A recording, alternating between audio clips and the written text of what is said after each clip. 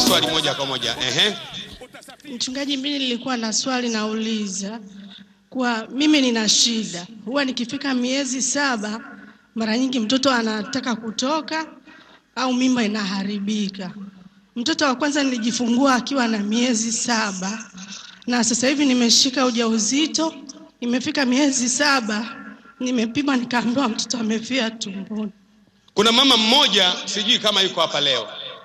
Kama upo, nilimwona wiki ile alikuwepo. Kuna mama mmoja alifika hapa kanisani kwetu, alikuwa anatunga mimba, anatunga mimba, anatunga mimba, alikuwa ameshatunga mimba sita na hana mtoto. Kwa akitunga wanakufa, akitunga mimba wanakufa, na tulimwombea.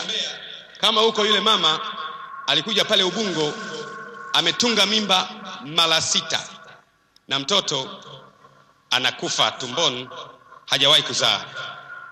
Mambo haya labda huyu nimsaidie kidogo kabla shehe hajaanza. Inawezekana mtoto huyu anaibiwa na kwenda kwa watu wengine, la kwanza hilo, au inawezekana mtoto huyu anazaliwa na kwenda kwa watu wengine, na mara nyingi watu wanao kwa namna hiyo ni watu wasiokuwa na bidii kwenye mambo ya Mungu. Unajua, kwenye mambo ya Mungu iko hivi, unakuwa na matatizo, unaomba sana, yakipungua una relax.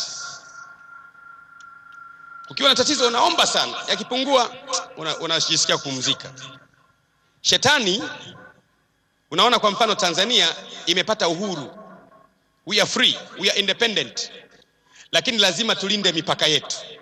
Lazima jeshi la wananchi waweke wanajeshi wetu wakae kwenye mipaka although we are free, lakini lazima tulinde uhuru wetu na mtu mwingine ambaye nia yake ni kujopodize uhuru wetu. Kwa hiyo jeshi la wananchi wana wanajeshi kila mahali kutulinda, kulinda mipaka.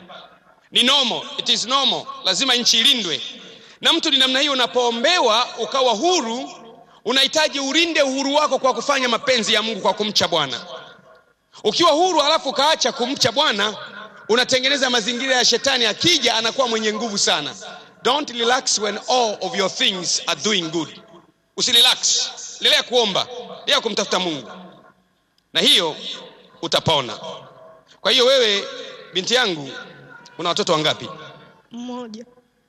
Ume ujauzito ulioharibika ni mara ngapi? Hii ni, ni mara moja. Hii ni moja. Ndio, ya kwanza nao pia ilikuwa ni hivyo hivyo, lakini wakaniwahi kwa operation. Miezi saba. Ndio, Kwa hiyo wamesema mtoto amefariki ndio, tumboni. ndio. Sasa tunafufua walio hai na walio tumboni.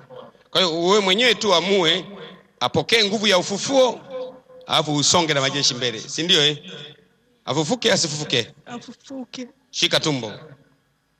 Wewe mtoto, una haraka gani kufia tumboni? Hujafika duniani na ukaja na ufufuo na uzima, una haraka gani?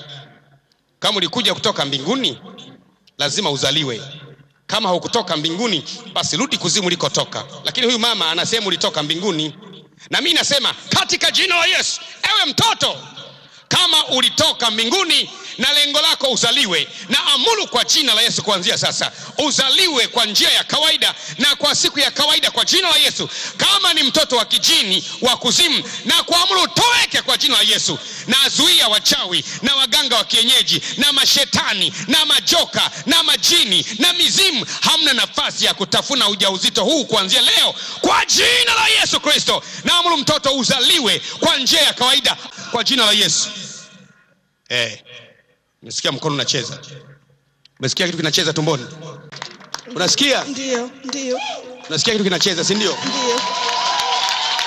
Fufuka na uwe mzima, fufuka na uwe mzima, fufuka na uwe mzima, fufuka na uwe mzima, na kupulizia pumzi ya uhai kuanzia leo.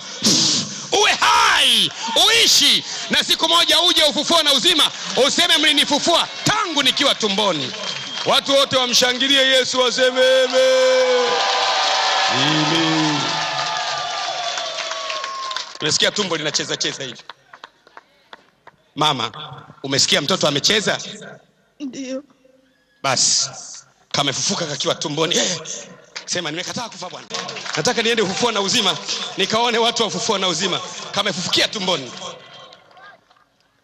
kamefufukia tumboni, kamekataa bwana. kanisema sifi hapa. Ehe, na swali. Swali langu ni